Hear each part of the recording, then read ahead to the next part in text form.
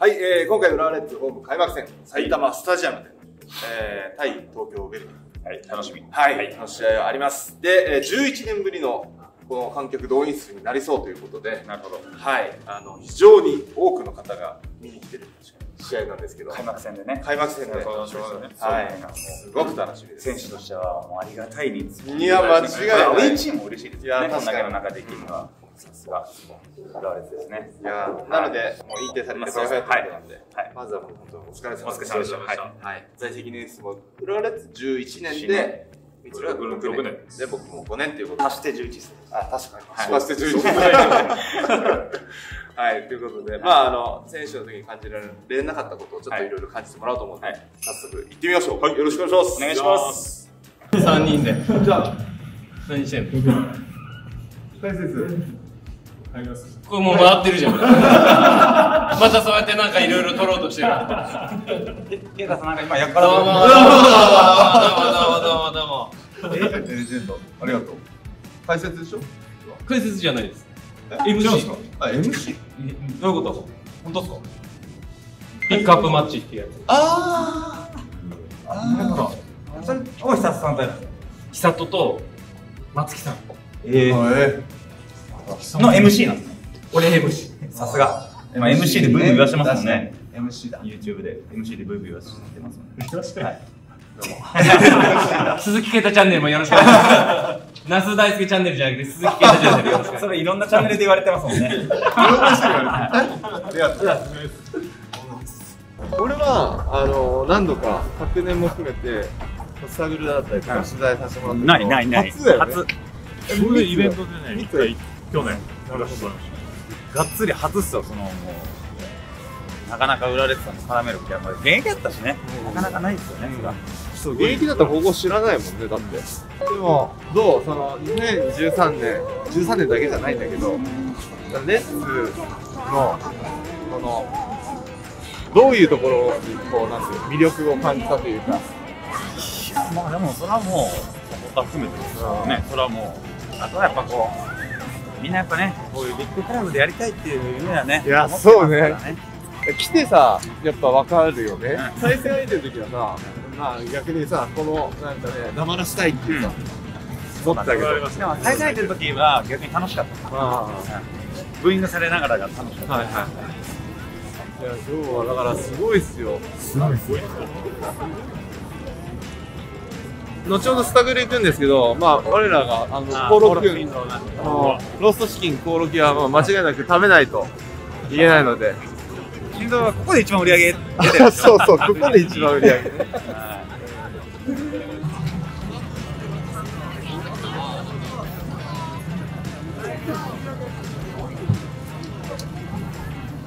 写真撮ってざーっと見たら一回戻るんですけど、まあ、スタグル今、ざらっと。で、あのー、ユニフォームだったり、グッズ売り場が、そこら辺。購入します？那須さん、自腹で。はい、なんでもいいですよ。スタグル選びました？まあ、ローストチキンごめん、あのね、人ばっか見ててね、はい全然見てないです。とりあえずだ、だって、コオロキは行かないといけないあ、コオロキは、あの、絶対に食べる。なんか、俺でもさっき飯食ってきたばっかだからな。そうですね。お疲れ様でした。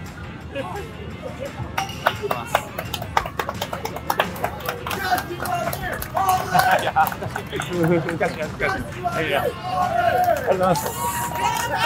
ありがとうござい。ます。すごい。ありがとうござい。ます。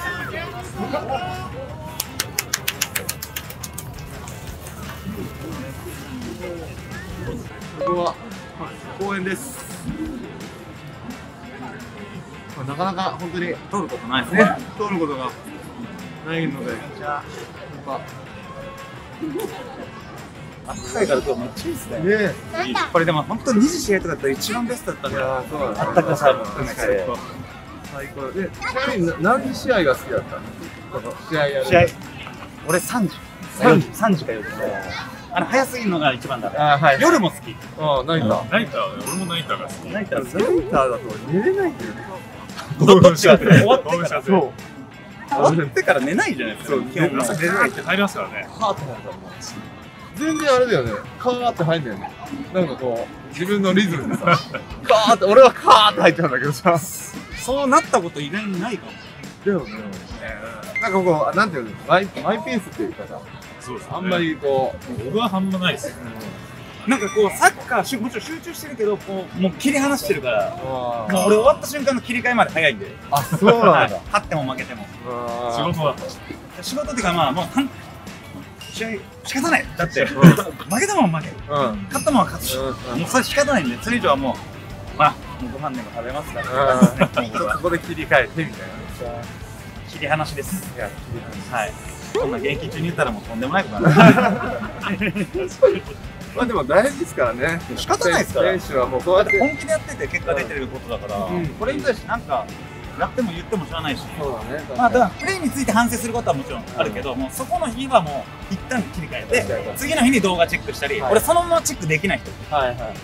一回離れたいよ。離れたい。一回離れたい。ちょっとね、レスあのゆっくりと当時のせっかくの3人なんで、試合前まで、はい、あのちょっとお話を聞きながら、少し食べながら、せっかくなんで、はい。食べながら当時を振り返りたい、はい。はい。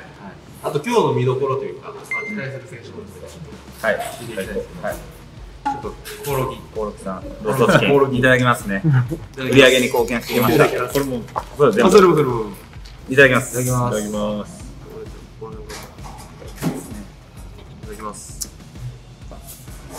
酒飲みたくなるんですよねうんうんうまうまっ。美味しい。まあまあ裏に裏に行くのもあるんですね。うん。い。浦和に住んでて浦和でまだ買ったことない。ですか実は行ったことない。衝撃ですねこれは俺は衝撃映像ですよ行かない。かなと思ってた。俺だってたまに帰ってきてもたま一回行ってますよ岐阜に行ってから、うん、宮崎でも買ってるし。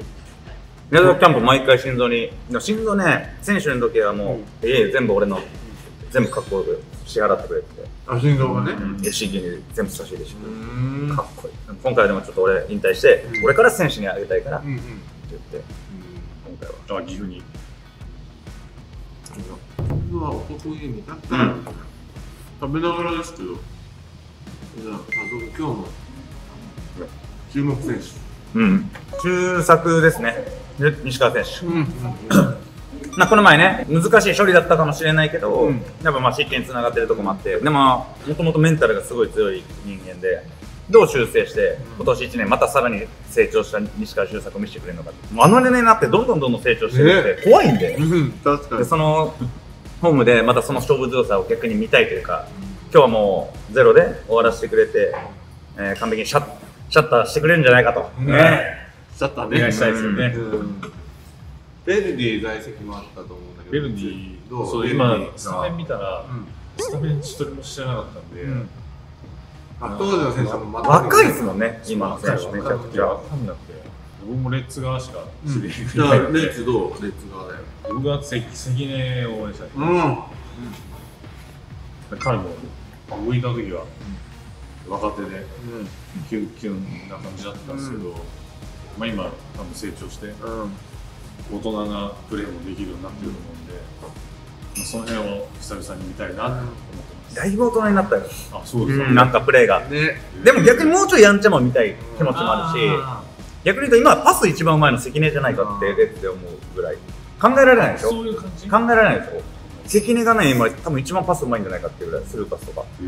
でも、関根ちょっと話したら、それ言ってた。あの、もうちょっとこう、い行きたいっすっていうか、仕掛けたいというか、うん。なんかそこはね、昔のいい、いい意味でのね。そこは残しておいてほしいですよね。ね。ベルディは俺、あの、見させてもらったんですけど、木村選手が結構起点になってたっていう。体あって、チームとしてすごく流動的に守備もコンパクトにやって、うん我慢強く粘り強くっていう、うんであとフリーキック感も伝説的な、あだかいい見ましたいいフリーキックでしたね。そう。国立のやつですよね。ら本当に今あのジョーフ監督も若いチームですけど、いや結構勢いありますよ。ね。だから走行距離もなんか一番だったですね、確か。そん。な感じだった。走れる。走れて、めちゃくちゃつなげて、みんなで一つになって戦ってくるチームという印象ですよね。楽しいです今日はね本はい。うん。でまあちょっと当時の話に結構ね2013とか、はい。まあそこら辺の、はい。まあ特にあの時期まあミシャだったしね、うん。あー特にこう結構結果もだいぶついてきてた、ですね。うん。あそこら辺。あでも最後の最後になかなかタイトルっていうところが、うん。悔しい思いがっていうのもあったと思うんですけどどうですか？その当時のこうなんかこう選手としてやってて。やっぱ僕僕自身がねうん多分あれミッシャーが13年の2年目かな。そう。もうだんだんねこのチームの状態もこうミシャーのサッカーが浸透してきてっていう状態で本当楽しくなってきた。裏入った当初なかなか勝てないっていうかもうそれこそミシャ来る前の年なんて降格争いね。超強か。っねあのでえっとゼン・ペトロビッチ監督の時に俺とミツさんで本当にもう何やっても勝てないみたいな。たそうそう。びっくりしたその移籍して1年目だっあそうた浦和レッズなんでこんな勝てないの、ん。ある程度勝つ予測で入ってる、それが勝てない。あの時残念ながら選残念ですだって残り2節で決まったんですかね。2節で決まって。なんかでもあれでなんかこうやっぱ応援してくれる人たちもなんかすごいこうなんか受け入れてくれたっていうのもあったし。でもそういう経験もあるからこうやっぱ浦和レッズに対してこう思いに深まっていったっていうのはね強かったんでだそっからもこうパンパンっていう感じであったね。パンパンパンパンパンみたいな感じで上がってったから、ACL 2012にそうですね。はい。そうですね。AC 楽しい。っすよね。楽しい。ね楽しい。楽しい。AC でなんか試合も楽しい。けどそのやっぱ3日前入りとか、よね、4日前入りとかしてその現地を楽しむってい。うのも結構楽しかったし、ああい。うのちょっと散歩したりとかうんほんま楽しかったなまあ ACL とかど、まあ、みつるが俺怪我してそこでおそこのポジション。をどっちかっていうともうみつると阿部ちゃんがもうそこはもう不動の2枚というかビルドアップで2人が。そんなことなかったですけどいやでもやっぱミシャ的にもみつるの評価ってめちゃくちゃ高かったし俺やっぱあのキック蹴れないもんノーステップみたいな。ちょっとこうすごい最後チェンジするじゃんあれはすごいずっと勉強してたもん特に当時の攻撃サッカーっていうか、ミシャのその後ろの持ち運びっていうのはめちゃくちゃ肝になってたから、それで阿部ちゃんとやっぱみつるのあのビルドアップの時のあの持ち出しとあの体格のあのうん。フィード、あれはねなかなかできないんだよ。那須さんってなんかねパワーみんなパワーあるように見えてるけどキックのパワーだけないですよね俺 すごくね。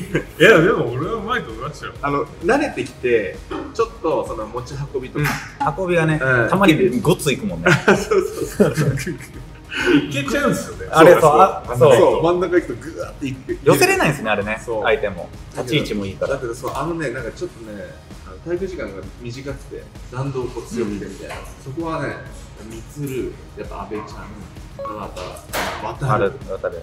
うん、そこら辺がやっぱ代表的というか、すごく印象に残ってる俺はあれでもずっとたあの習得できなかった、うんまあでもそこを別に意識してたんですか？でだめちゃくちゃしてたし13年も怪我してまあその後話してもらったんだけどキャンプの時はまあみつるが14年のキャンプは、でもまあ多分ここでずっとヒヤヒヤしてたしああまたこう、うん。開幕どうなそれ僕も一緒です。一緒ですよ。ね那須さんと大体違うチームなんで那須さんの方どうっていう感じで。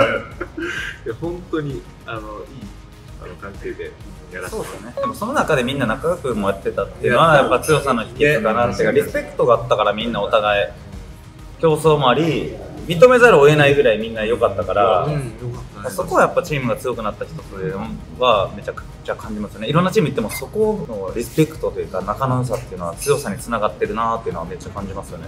うん。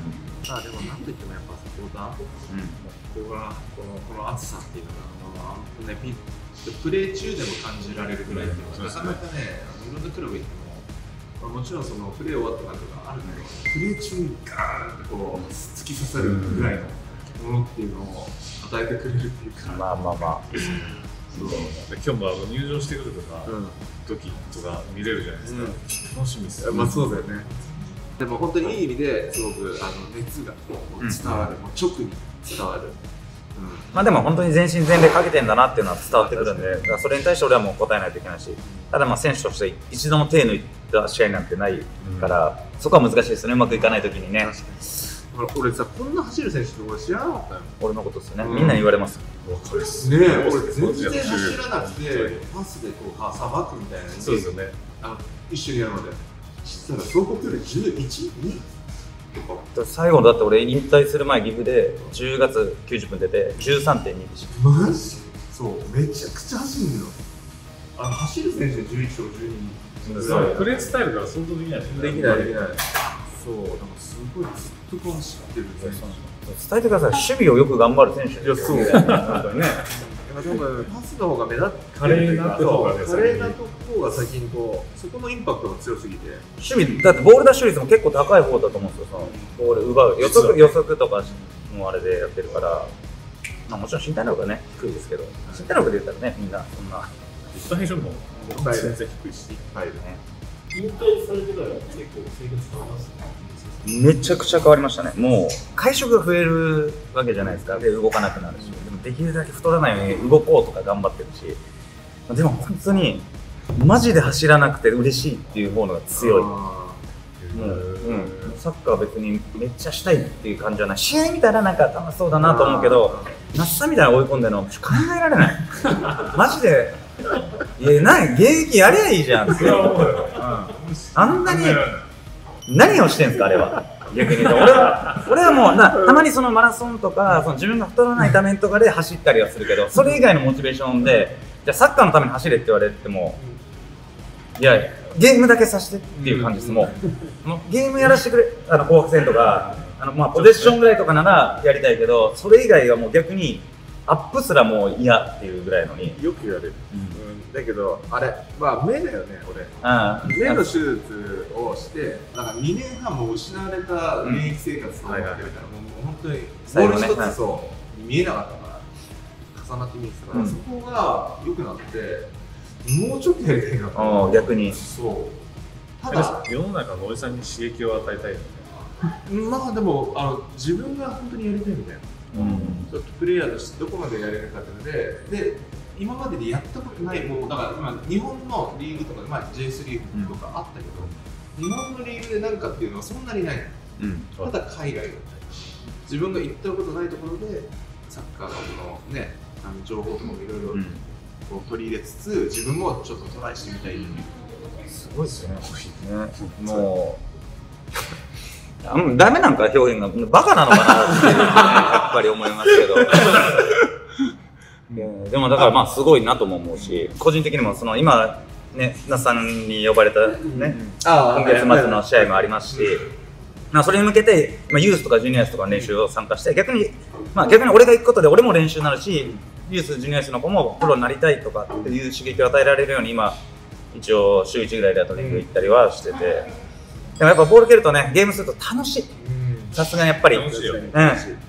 ただ走れねえ。あの、普通に走るのと、このターン入るだけで、こんなにきついのかっていうぐらいきつちょくてっと一、瞬無気になったりしない？なるなるよ、マジで。フィジカルいっちゃうもん。確かにそう。でも、昔やっぱ、もうちょっとでも止まれなくなってるから、危なくからもう、もうやっぱり行かないようにしてるけど、でも楽しい。楽しい楽しい。しかもなんか、引退した人たちだってさ、みんなうまいじゃん、サッカー。うん。めっちゃ楽しい。動けないけどみんな、うまいっていうのはめっちゃ感じる。雰囲気とかね。ね。すごいただまあまあ走ってもね、全然走ってるかどうかわかんないぐらい走れてないけど、気持ちはね。気持ちは走ってるけど、まあ俺はまだ走るに関してはまだいけるし、まあ動くに関してはまだ引退して2ヶ月なんで。なんかインスタで、サプライズの引退のパーティーとか全部、あ裏のサポーターです。ああ、浦和のサポーターってか、あの、ワンロンていう、えーもう本当にみんな選手がお世話になってる中中華料理屋さんで、もう、飯食うぞ、何人かで集まるからって言って行ったら、もう200人ぐらい、250人ぐらいだったんですかね、が集まってくれて、みんなで歓迎してくれたっていうのがあって、でも、まあ、浦和11年いて、そういう、そんだけこう、みんなが応援してくれたっていうのを感じて、これはめちゃくちゃやっぱ嬉しかったですし、今日も回って、洋介お疲れとかって言ってくれるのはもうやっぱ嬉しいですし、まあ自分がこう、どういうふうに接してきたかっていうのと、まあ岐阜行ってどう頑張ってきたかっていうのは、すごくこう、頑張ってきたっていう言い方おかしいですけど、ちゃんと向き合ってやってこれたから、まあこうやって今、そういうふうに逆に応援してくれる人もいるのかなって思って向き合って生きていくとか自分に信念を持って生きていくってすごく大事だなって改めて思ったし視野狭くならずに生きていくってめっちゃ大事だなってすごく感じたんで岐阜に行ってなかったら今の成長はないなってでも本当に改めて思ってる、う。ん、感謝しかないです岐阜には今本当に。去年一緒に宇賀さんとはプレーされてたんですが宇賀さんのプレーじゃないんですけど宇賀に帰って帰って戻ってくる宇賀さんについてうん。期待みたい。なそう逆にどう思いますか？うが戻ったことで。幸せだなって思います。幸せだなと思うのと浦和はいい復帰をしたなってう。ん。あですよね、うん。いいと思あの多分今ベンチにも入れない。立ち位置だと思うまだね。だただその公開練習だけど彼みたいな存在がやっぱベンチに入れなかろうがこう残り連で一生懸命やる。でそのサブチームに出た時にしょげてるやつをこう背中を押してやるとか、で出た時には必ずいあのある以上のパフォーマンスをするっていう。めっちゃくちゃ大事だから、チームにとって。だから俺はもう本当にいい、うん、チーム全体に影響力がありますよね、そうそうそうそう。いい補強というか。まあ、僕は去年一緒にやらし、ね、やってて。やっぱウガの存在感って大きかったし技術的にも多分みんなが思ってるよりうまいんですよ、ウガって。だからそういう部分でもえーサイドバックとしてはいい補強なのかなっていうところとどんな状況であろうとこういう時こそ這い上がってくるのがウガ人っていう感じなんで逆にここから楽しむというか、出てきそう確かにね。そう。なのねそうこれで出てこれなかったらもうやめやめやめだねやめだね、うん、仕方ないそれは。でもそれぐらいの気持ちで多分入ったと思うし、まあ出れなくてもチームのためになりながら俺は絶対出てやるっていう気持ちで絶対行ってるからそこをめっちゃ楽しみにしたいしだから宇賀の存在っていうのはそういう存在であると思うから。別に選手でなかろうが浦和のためにまた今後今後も尽力していく人なんでそのタイミングっていうのがいろいろあるんじゃないかなとは思うから、まあ、宇賀だからこそね。信頼関係。信頼関係そうそうそうそういうことです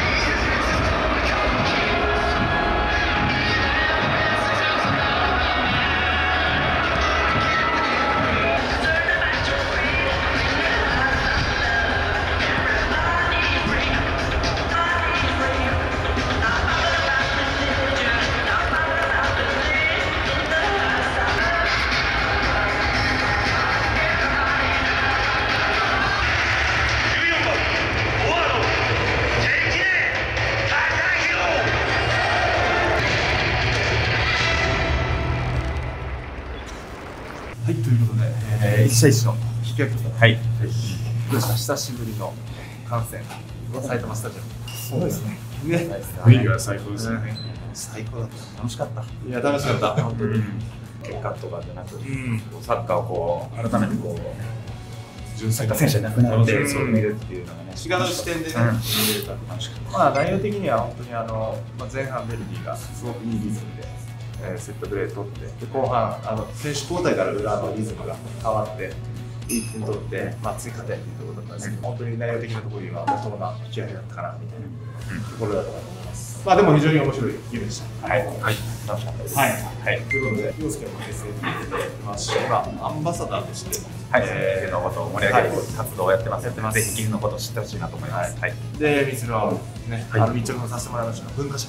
はい。はい、今、奮闘中なので、よろしくお願いします。応援の方もよろしくお願いします。ということで、これで終わりたいと思います。ありがとうございました。ありがとうございました。3月31日、レモンガススタジアム平塚で、フットボールドリームプロジェクトを開催させていただきます。J リーグレジェンド OB、大久保嘉人、太田康介、大津祐樹、柏木陽介、リー、忠成、昨年度引退した選手がたくさん参加決定します。大人気インフルエンサー、リゼム、ウンパルンパ、マキヒカと、その他にもたくさん決まってますので、チケットの方もメインが1000円、バックスタンドが500円と購入しやすくなってますので、皆さん、レモンガススタジアム平塚にお待ちしてます。概要欄の方をチェックしてください。よろしくお願いします。